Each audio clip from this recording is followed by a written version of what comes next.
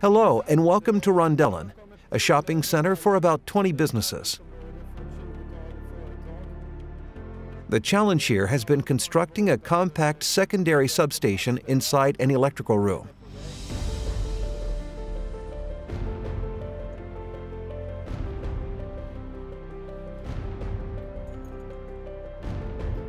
This is the installation setup we have chosen together with the electrician.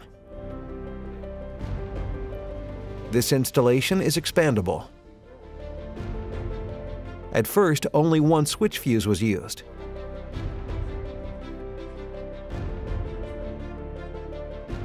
A second switch fuse was added after a few years because of increasing power demands.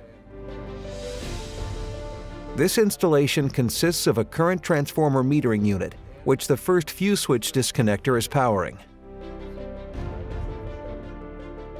The current transformer metering unit is placed on the other side of the wall. A number of outgoing fuse switch disconnectors are powering direct metering units, which in turn power the different shops in the shopping center.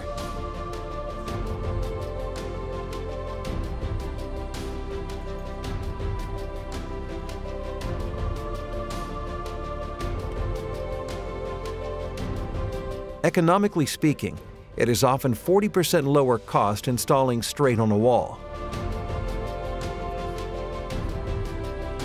No need for metal cages or cabinets to ensure the safety of the professionals that have access to this electrical room. This installation is touch-proof IP2X, but not double insulated, which is why it must be placed in an electrical room.